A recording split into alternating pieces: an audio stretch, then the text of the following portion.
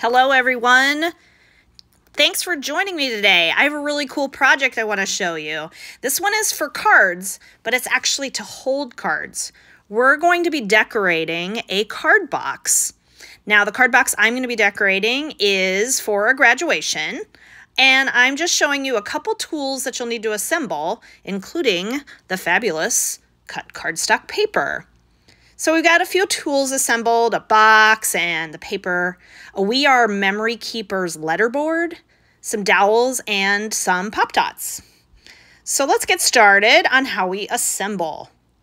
The first thing you're going to do is cut the Basis Gray paper from the Fabulous Cut Cardstock Company into 3 by 5 pieces. Make sure the 3 by 5 pieces are exact and I'm going to need five of them because I'm going to turn these into letters and it's going to spell the word cards. So this one only required one sheet of cut cardstock. Again, this is the Basis gray paper and it is cut into three by five strips.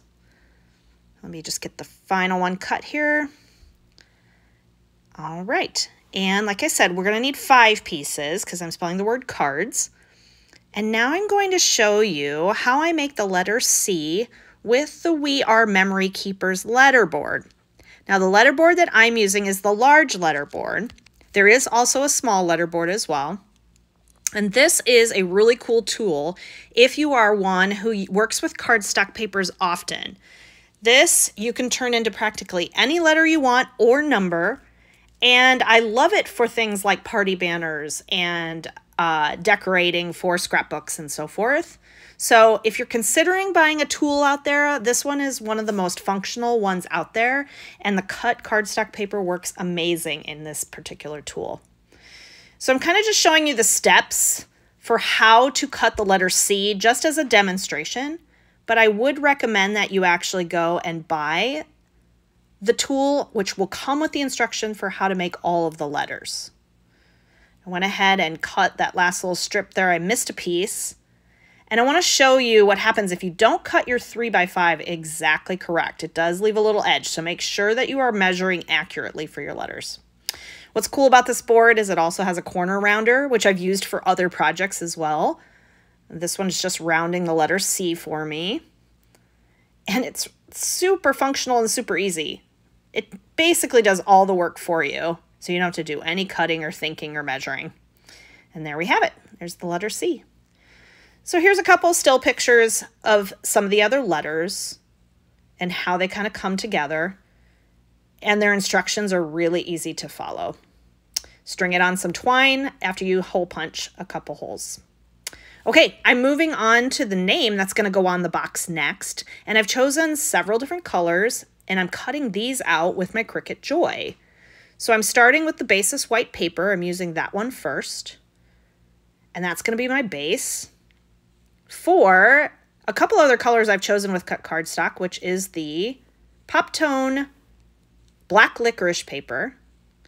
This letter is being glued onto the basis white. And then we're going to actually add this in a 3D color to the Pop Tone Wild Cherry Red. So take a couple pop dots and apply them to the back of your letter. And I'm going to use several just to make sure that I don't lose any in the process and they don't fall off. Add a couple more here. All right. And I love the look of this because with this varsity letter look that I've chosen through the Cricut library, it gives it sort of a 3D effect. It's really kind of a neat title. I've chosen these colors specifically from the cardstock papers because these are the colors of my son's high school. So here's one of the letters and go ahead and assemble them all. And then we're ready to glue it to our box. Now, like I said, I chose this box from a local craft store, but you can use this for practically any box you want. This is a really cool way to do this that will become a gift later. Now, I did lay it out ahead of time just so I was making sure I was putting it right in the center of the box. We don't want any unevenness going on. And tacky glue works amazing with wood with the concept that if he wanted to take the name off later, he can. It's very easy to remove, but it also will hold really, really well. Let me add my last letter here. We're going to put this on and we're going to let it dry. And I am so excited about how this is turning out. Okay, so once that's dry, we're going to actually add the banner part next. This also will be removed later. So I'm using the tacky glue again because I find it to be very sturdy but also easy to remove. And I'm going to take a couple dowels and just liberally apply the tacky glue to the bottom part of the dowel. And we're going to glue it to the two corners of the box. This will hold up my banner. Now, as I stick it in, I'm sort of lifting it up about an inch just so I can get a little more height out of my banner. Just let it stick. See how nicely that just applies there? Add some more glue to the other dowel. And stick that in the corner as well. And then I just put this aside and let it dry, laid it on its side until it was completely dry. And finally, strung my banner that says cards across the top. Is this not a cool card box for a graduation? All right, I got to drop my card off and get going. Thanks for joining me on this project today, everyone. See you next time.